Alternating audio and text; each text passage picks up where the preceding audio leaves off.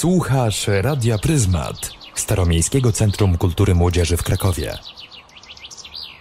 One, two, three.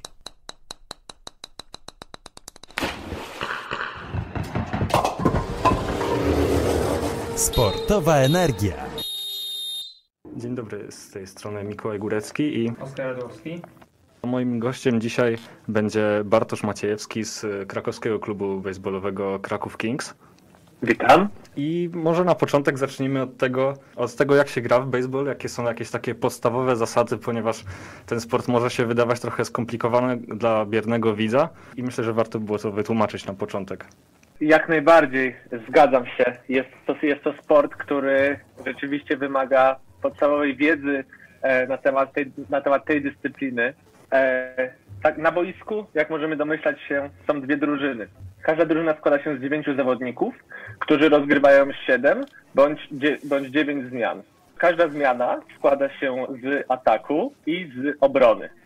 W momencie ataku zdobywamy punkty. Mamy na to 7 bądź 9 zmian, w zależności od, e, od rozgrywek. W mniejszych ligach, w, mniej, w mniejszych kategoriach wiekowych jest to zazwyczaj 7, 7 zmian, w trochę starszych jest to 9 zmian. Każdy zawodnik ma swoje podejście do odbijania. Pro, prosto mówiąc, raz jedna drużyna kiedyś się broni, stara się piłkę złapać i doprowadzić do takiej sytuacji, żeby drużyna przeciwna nie zdobyła punktu. Drużyna atakująca, ta, która chce zdobyć punkty, musi odbić piłkę w pole tak, żeby piłka nie została dorzucona na bazę, na którą, bieg, na którą biegną. Są cztery bazy, jest to baza pierwsza, druga, trzecia i baza domowa. Po przebiegnięciu czterech baz, kiedy piłka będzie wolniejsza niż zawodnik na danej bazie, zdobywa się obieg. Po obiegnięciu najpierw pierwszej, drugiej, trzeciej i czwartej bazy. W jaki sposób drużyna broniąca może, może się bronić? Już, już tłumaczę. Po odbiciu tej piłki trzeba jak najszybciej ją przetransferować na daną bazę, na tą, na którą biegnie biegacz. Jeśli piłka będzie szybsza w rękawicy obrońców, pałkarz jest out. Czy takie auty kończą zmianę i drużyny zmieniają się i teraz druga drużyna ma możliwość zdobycia punktów. Może opowiedz trochę o sobie, jak ty zacząłeś przygodę z baseballem, co robiłeś przez te lata grania i co robisz teraz? Ja zacząłem przygodę mając 13 lat w Osielsku. Jest to tutaj uczniowski klub sportowy Dęby Osielsko, który powstał w 1994 roku. Pomysłodawcą był pan Jacek Baumgart, który wraz ze swoimi uczniami stwierdził, że może zaczerpnijmy troszkę z zachodu nowej kultury, nowego sportu i stworzyliśmy drużynę baseballową. Ja dołączyłem jako, jako kadet, jako tak naprawdę bardzo, bardzo młody zawodnik i z tym, że był to inny sport niż piłka, inny sport niż, niż wiele sportów, które w Polsce wtedy były popularne, była taka fascynacja tym wszystkim. To było coś nowego, coś, co można było się pochwalić każdy wtedy słysząc, że gra się w baseball, to każdy wiedział, nie no, palant to, to tak, ale baseball to coś, coś bardziej skomplikowanego. Po tym, po tym czasie, kiedy zebrała się fajna ekipa, dużo zawodników, stworzyliśmy już zamiast tylko treningowej drużyny, stworzyliśmy drużynę, którą mogliśmy wystawić na zawody i niezmiennie do, do roku tego, czyli 2020, Wygrywaliśmy wszystkie kategorie. W każdej kategorii wiekowej wraz z drużyną Dębosielsko zajęliśmy pierwsze miejsce, więc to, to mogę się pochwalić. Na studia przeprowadziłem się do Krakowa. Tam pomogłem rozwijać drużynę, drużynę krakowską, Kraków, Kraków Kings, z którą jestem po dziś dzień. Jestem z dwoma drużynami. W drugiej drużynie zaczęliśmy grać w Lidze Bałtyckiej. W zeszłym roku to był nasz pierwszy debiut w Lidze Bałtyckiej. Udało nam się dostać do playoffów. Zajęliśmy tam siódme miejsce na około 15-16 drużyn. W tym roku jesteśmy już, można powiedzieć, rzutem na taśmę, bez rozegrania rundy wiosennej, bo zdobyliśmy prawie komplet punktów. Jesteśmy już w playoffach i celujemy tylko wyżej niż siódme. Wspomniałeś o, o Lidze Bałtyckiej. Może właśnie przedstaw, jak to w Polsce wygląda z tymi rozgrywkami ligowymi i, i ogólnie z organizacją gry w Polsce. Na wstępie muszę powiedzieć, że pomysłodawcą i całym, można powiedzieć, ojcem Ligi Bałtyckiej jest Grzegorz Białas. Z tego miejsca chciałbym pozdrowić Białasa.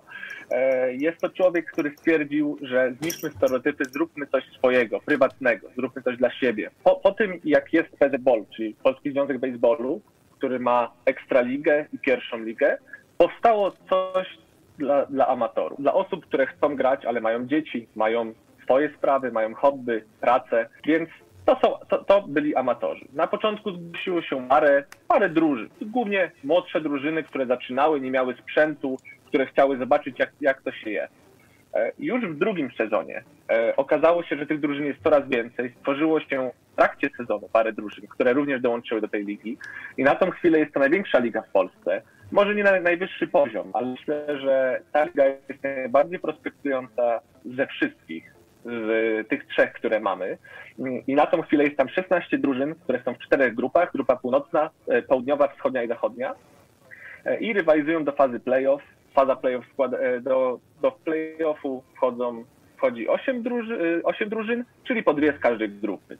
Później rozgry, rozgrywa się playoff i walczy się o puchar Ligi Bałtyckiej. Oczywiście ta, ta Liga Bałtycka to jest e, przymrużeniem oka, dlatego że e, Kraków też może być Bałtykiem, jak, jak, widzimy.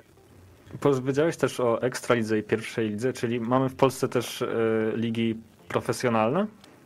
E, tak, naz, nazwałbym, e, nazwałbym te ligi profesjonalne, ale na pewno nie zawodowe, bo na, na, na tym szczeblu z tą popularnością jeszcze, jeszcze baseballa nie jesteśmy w stanie, e, i tak powiem, z, te, z tego żyć.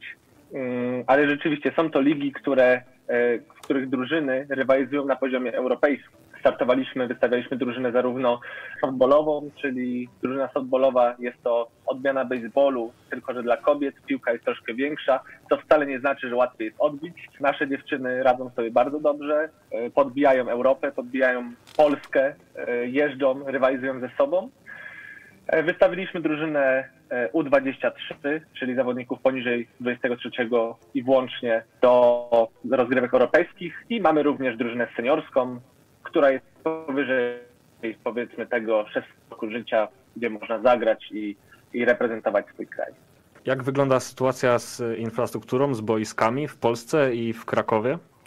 Jeśli chodzi o najbliższe boisko z Krakowa, to trzeba by powiedzieć, że są, są to Żory, Żory i Rybnik.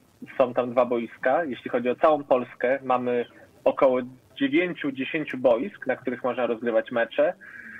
Mógłbym nawet podać dokładnie, gdzie, gdzie są te mie- miejscowości. Może, mo- może szybko powiem tylko obok Bydgoszczy, Osielsko, Władysławowo, e, Działdowo, Warszawa, Kutno, Żory, Rybnik, Miejska Górka i Wrocław. Chyba nie pominąłem. Okej, czyli w Krakowie nie mamy boiska. W jaki sposób w takim razie trenujecie? Na tą chwilę e, wraz z drużyną wynajmujemy e, od Płomienia Kostrze. Jest to klub, lokalny klub piłkarski. Mamy dużo, du, duży dystans, który jest bardzo potrzebny w baseballu, głównie do, trening, do treningów, do treningów rzutowych, ale również odbijania, dlatego że piłki czasami lecą na ponad 100 metrów. Jeśli jest dobrze odbita piłka, takie treningi odbywają się raz, czasami dwa razy w tygodniu i skupiamy się na, tak- na takich e, aspektach, to co jest naj- najważniejsze, czyli rzucanie, odbijanie i łapanie. Dużo techniki, dużo strategii, jest to e, strategiczna gra. I tak trenujemy na razie na boisku, ale muszę powiedzieć, że staramy się o boisko, staram się znaleźć troszeczkę e, wolnego miejsca, które, które moglibyśmy przeznaczyć na, na budowę boiska baseballowego, żeby, żeby trenować profesjonalniej i osiągać więcej. A jeśli e, chciałem się zapytać, a w jakich godzinach macie treningi? Bo tak się składa, że akurat mieszkam w okolicy tego boiska, więc może kiedyś przyjdę zobaczyć, jak to wygląda e, na żywo. Jeśli chodzi o treningi na polu, e, mamy treningi, e, mieliśmy, teraz już jest troszkę za zimno, mieliśmy w środy o godzinie 18 oraz w niedzielę, nie każdą ze względu na, na rozgrywki, oraz w niedzielę po południu bądź wieczorem. E, Jeśli, jeśli chodzi o sezon zimowy, na tą chwilę mamy e, ze względu na, na sytuację covidową, musimy zrezygnować z treningów, ale udało nam się parę treningów odbyć na hali. W niedzielę mieliśmy treningi wieczorem również. A jak wyglądają takie treningi? Jeśli chodzi, jak wyglądają takie treningi typowo baseballowe, najpierw jest rozgrzewka, tak jak chyba w każdym sporcie, żeby uniknąć kontuzji. Później dogrzewamy mięśnie, które są najbardziej używane w baseballu. Tak jak wspomniałem, są to plecy, biodra, nogi oraz barki. Bierzemy rękawice, piłki, krótkie rozrzucanie, rozgrzanie całego ciała, skupienie się na, techni- na technice, poprawienie różnych elementów i przechodzimy później do takiej części typowo baseballowej. Czasami trenujemy najpierw obronę, czyli rzucanie po bazach, łapanie rękawicami. Taką ciekawostkę dla słuchaczy mogę powiedzieć, że można sobie wyobrazić, skoro praworęczni mają rękawice na ręce, oczywiście lewej, bo prawą rzucają, prawda? Ta mocniejsza ręka rzuca, ta słabsza łapie piłkę. Później trening, e, trening dalsza część treningu to trening odbijania. Odbijamy, staramy się piłkę zmieścić w liniach boiska. Nie jest to czasami proste, dlatego że taka piłka potrafi lecieć nawet do 170 km na godzinę, więc nie jest tak łatwo trafić, jak się to wydaje, albo jak e, niektórzy oglądają na filmach amerykańskich. I na koniec jest jakieś rozciąganie. Po tych dwóch e, po tych dwóch częściach treningu jest rozciąganie, skupienie się na technice, czasami jakieś statyczne, e, do, że tak powiem, dopracowanie elementów i na tym się kończy trening. Ile czasu trwa taki trening w takim wypadku? Ja myślę, że tak bardzo optymalnie to półtorej godziny do dwóch. Raczej nie mniej, więcej jak najbardziej, ale, ale nie mniej niż takie półtorej godziny, żeby wyćwiczyć te, te dwie, te dwa aspekty najbardziej. E, Teraz mówiliśmy o Krakowie, więc zostańmy jeszcze na chwilę i e, jak wygląda e, popularność e, tego sportu w tym mieście? Przybywa wam e, nowych zawodników? E, Tutaj muszę powiedzieć, że nie narzekamy. Jeśli chodzi o nowych zawodników w ciągu roku, około 10-15 zawodników e, przychodzi do naszego klubu. Przewija się jeszcze więcej, którzy chcą zobaczyć tylko z ciekawości, bądź, bądź zobaczyć, jak to w ogóle wygląda. E, Ale muszę powiedzieć, że z roku na rok jest coraz więcej, to też cieszy, jest coraz więcej zagranicznych osób, które chcą właśnie spróbować tego sportu, bądź trenowały e, za, za młodu przybywają, my jesteśmy jak najbardziej otwarci. Zresztą w naszej drużynie myślę, że jest nawet więcej obcokrajowców na tą chwilę niż, niż Polaków. Dogadujemy się, angielski na tą chwilę każdy zna, więc, więc nie ma problemu i tak, tak sobie trenujemy. Jest, nie narzekamy na, na liczbę nowych osób. Jak już powiedzieliśmy tak dogłębnie o treningu, to może opowiesz nam, dla kogo jest baseball i jak można zacząć grać i co jest do tego potrzebne, jakiś y, sprzęt własny. Jeśli chodzi kto może grać w baseball, to nie wiem czy zaskoczę, ale mogę powiedzieć definitywnie, że każdy.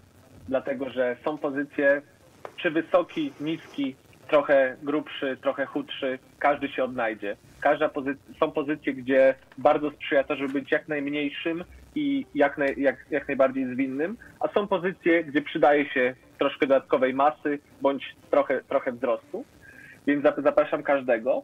Co trzeba mieć? Tak naprawdę nie trzeba mieć nic.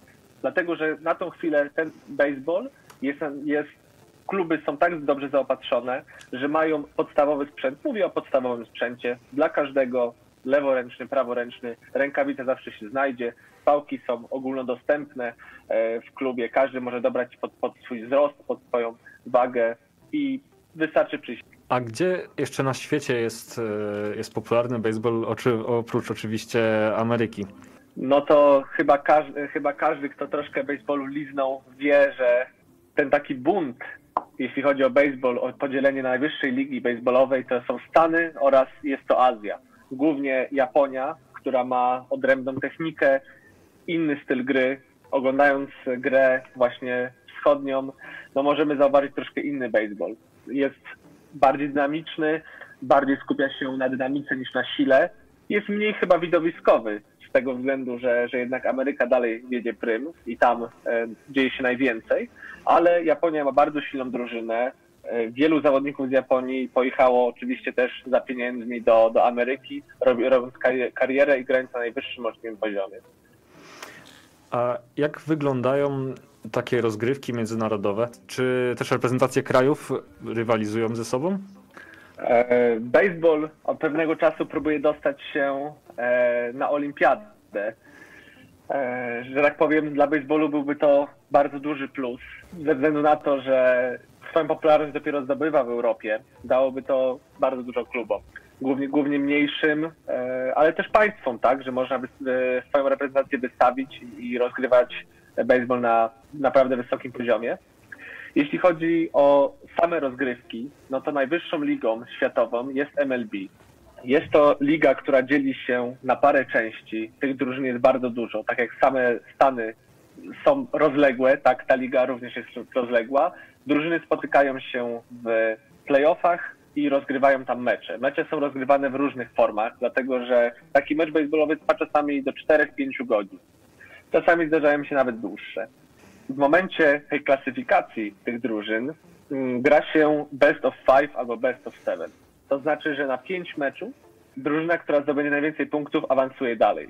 Często te wyniki są bardzo na styk, dlatego że dużo zależy od wielu szczegółów, na przykład od miotaczy. Jeden miotacz może mieć lepszy dzień, drugi miotacz po prostu jest troszkę słabszy i drużyny rywalizują i raz ta sama drużyna może wygrać bardzo dużym wynikiem, e, a następnego dnia przegrać również du- dużą różnicą, e, mimo że to jest ta sama drużyna.